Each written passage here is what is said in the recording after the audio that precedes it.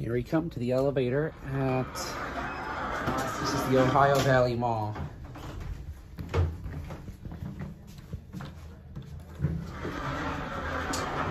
Looks like it got modernized or something. What?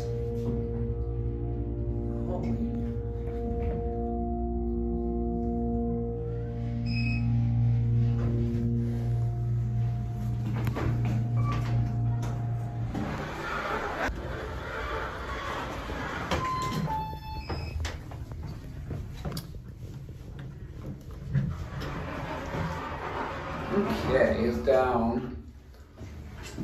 This is St. Clairsville, Ohio. It's a Kone EcoDisc fixtures, but it's a hydraulic, which is odd.